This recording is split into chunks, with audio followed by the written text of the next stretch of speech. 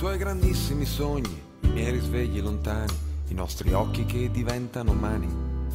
La tua pazienza di perla, le mie teorie sull'amore, fatte a pezzi da un profumo buono. Il tuo specchio appannato, la mia brutta giornata, la mia parte di letto in questa parte di vita, il tuo respiro che mi calma se ci appoggi il cuore, la nostra storia che non sa finire.